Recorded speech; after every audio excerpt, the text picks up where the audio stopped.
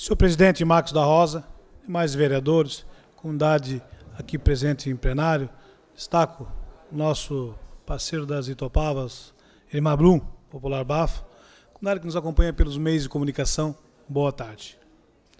Começo na tarde de hoje, é, senhor presidente, fazendo uma prestação de conta ah, nas indicações que muitas vezes as entidades nos procuram e é encaminhado ao Poder Executivo para que faça esses repasses de subvenções. Quero aproveitar a tarde de hoje para prestar conta de algumas entidades que receberam a verba de subvenção do Poder Executivo, ao qual fizemos essa indicação, como todos os vereadores também praticamente fizeram. Gostaria que eu colocasse a primeira foto. A APP da Escola Isolada Alves Ramos utilizou o recurso para a compra de um parquinho para lazer das crianças. Parabéns, é, diretora Amara, aplicou corretamente esses recursos dando um espaço de lazer para a garotada. Dando sequência, Ari, a foto é a PP do, do, do Centro de Educação Infantil, Jonah ontem que estive visitando, utilizou o recurso para a compra de livros infantis e 19 bicicletas para as crianças se divertirem. Inclusive, é, faltou cinco bicicletas, vereadores, se, se conhecerem alguma empresa ou que queiram ajudar, importante. Essas bicicletas ontem, ontem estive lá na parte da manhã, muito bonito, a garotada toda se divertindo, uma simples, uma simples é, a, encaminhamento de uma subvenção, um recurso pequeno, mínimo, fazendo a alegria dessa garotada. Dando sequência, a, senhor presidente e vereadores, a foto, se possível, ali, Associação de Moradores da Paulo Zinga o filho também, utilizou o recurso para a construção de uma pista de caminhada para toda a comunidade do Zufri. Está em andamento essa pista, também a presidente, a Cláudia e a comunidade, aplicando o recurso que recebeu de subvenção. Também, Ari, foto na sequência, a PP do Colégio Filho de Calquemio Maia, Dona Valdirene, utilizou o recurso para adquirir tra trajes típicos para a banda, uma forma de incentivar a cultura alemã em nosso município. Parabéns, Valdirene e toda a garotada que com certeza poderão desfilar no 7 de setembro ou 2 de setembro com esses trajes lindos maravilhosos. Bem aplicado, por sinal, esses recursos dessas subvenções. Dando sequência, quero parabenizar essas entidades que realmente utilizaram os recursos. E também solicitar que a Pamela faz parte do, do, do, do antigo vice-prefeito, que fez todo esse caminho dessa documentação, que realmente faça a fiscalização de todas as entidades que receberam subvenções no ano, ano passado. Até hoje na pauta pude acompanhar vereadores solicitando da CCJ informações. Importante sim, vereadores, que fazem parte da CCJ quando conseguirem uma cópia desses projetos, dessa prestação de conta, repasse para esse vereador, que também irei fiscalizar.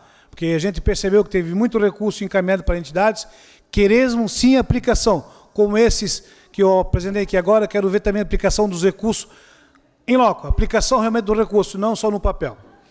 Dando sequência, é, a foto ali, por gentileza, ontem estive em reunião com o secretário Ivo Bachmann Júnior, conversei sobre a situação da Rua Bahia, necessitamos de alguma lombada é, física urgente, é, agora, enquanto, enquanto ainda estão uh, concluindo a urbanização. Não podemos concluir a obra sem a inclusão dessas lombadas.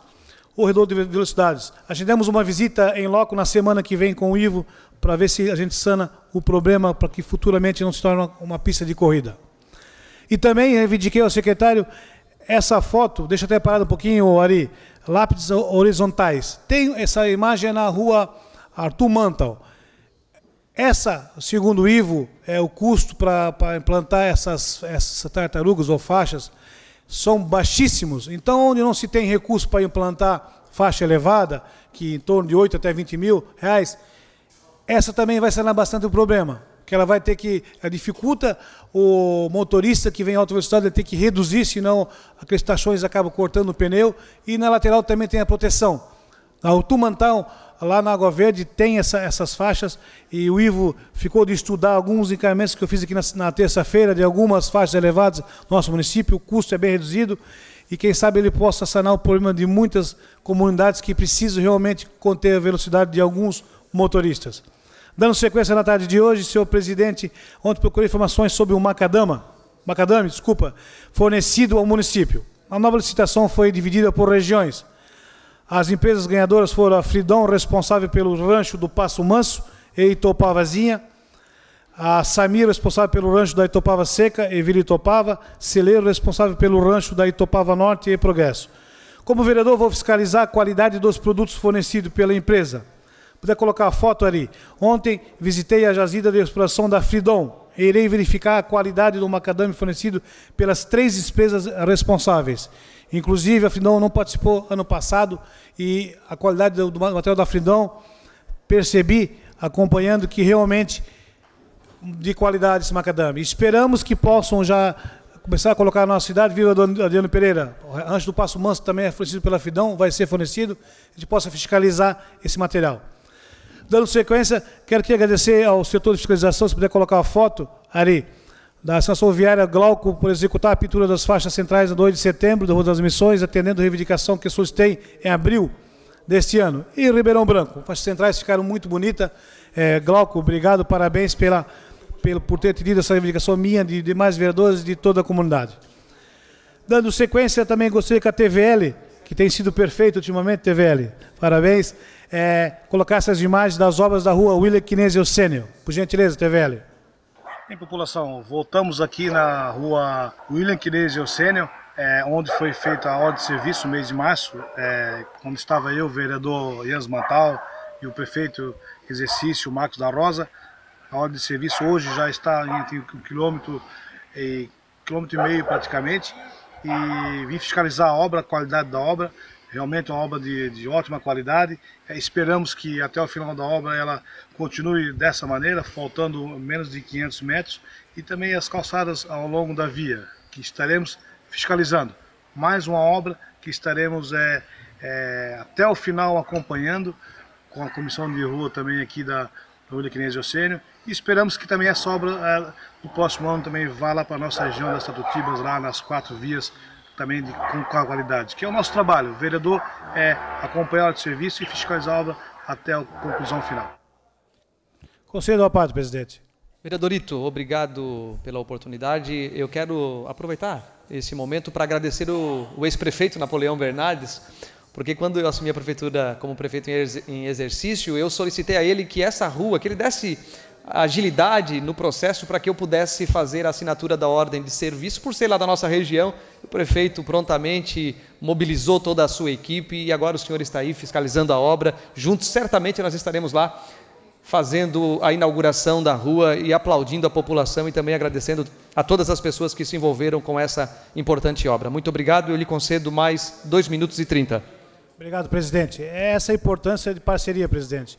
O senhor assumiu como prefeito, esteve lá uh, dando ordem de, de serviço, o senhor, o senhor, e o vereador Jans Mantal, e hoje a obra está em torno de 1.500 metros, faltando 500 metros para a conclusão, e as calçadas na sequência também virão, e a qualidade. E esperamos também que a gente possa, junto também, assinar futuramente uma ordem de serviço lá para a região das Tatutibas, aquelas quatro vias tão sonhadas que a gente vem lutando bastante junto com a comissão, e que também comece aquela aquela, aquelas vias e que a gente possa sanar o problema também do, da poeira, que hoje a, a comunidade já há muito, muitos anos reivindica e ainda não saiu do papel. Mas eu creio que é, fizemos encaminhamentos com todos os vereadores que fazem parte da comissão e a coisa vai acontecer.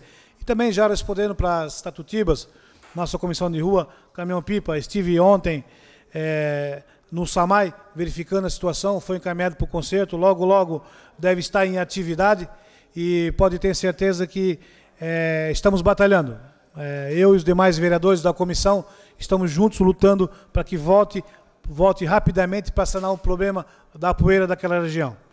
Que eu tenho certeza que a população vai ficar contente, está nos cobrando e merece realmente é, dignidade. Dignidade para poder limpar a sua, a sua casa, é, não estar tá de manhã até a noite com as casas fechadas e, e respeito, respeito pelos impostos que eles têm pagado a nossa cidade. Dando sequência, é, on, se puder colocar a imagem ali, da, da, do, ontem o Beck perdeu em casa 3 a 2 para o Marcílio Dias e o Metropolitano perdeu de 2 a 1 para o Fluminense em Joinville. Vejam a tabela que consta aí, é sábado o Beck em casa contra o Operário Lanterna e domingo o Guarani contra o Metrô é, em Palhoça. Os dois estão, estão é, praticamente quase na lanterna. É, espero que que é, arrume a casa, porque o campeonato é longo, são nove jogos é, é, em casa, nove no segundo turno, fora. Espero que, que arrume a casa, que possam dar uma volta por cima e que possam daqui a alguns dias estar no topo da tabela. Porque Blumenau merece uma equipe de dignidade que possa entrar em campo e nos representar e também não só na B, mas também na Série A do nosso catarinense. Também comunicando que na semana que vem irei é, é, com o secretário de Saúde, CETEB, PROCON e com o Visita na Rua Bahia. Há muitas, muitas coisas que encaminham o líder do governo, líder do governo. Irei fazer o encaminhamento agora direto na secretaria pelo acúmulo de muitos encaminhamentos e assim a gente consegue também conversar com o secretário para que sejam resolvidos os problemas. Obrigado, senhor presidente.